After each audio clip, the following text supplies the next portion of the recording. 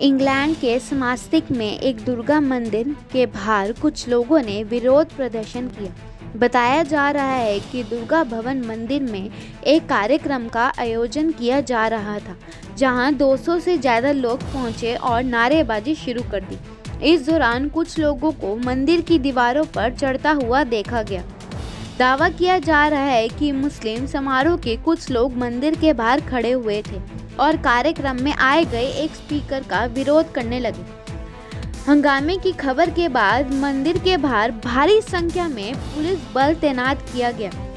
घटना की जानकारी मिलते ही स्थानीय प्रशासन ने कार्रवाई शुरू कर दी और पुलिस ने प्रदर्शनकारियों को नियंत्रित करने का प्रयास किया। इससे पहले पूर्वी इंग्लैंड के शहर लिरास्टर में उपद्रव के बाद हिंदू और मुस्लिम समुदाय के नेताओं ने मंगलवार को एक साथ श्रद्धावना अपील की थी। वहीं पुलिस ने भारत पाकिस्तान क्रिकेट मैच के बाद हुई हिंसक के सिलसिले में चौंतीस लोगों को गिरफ़्तार किया, जिसमें ब्रिटेन पर हुई हिंसा पर दुख जताए गए हैं।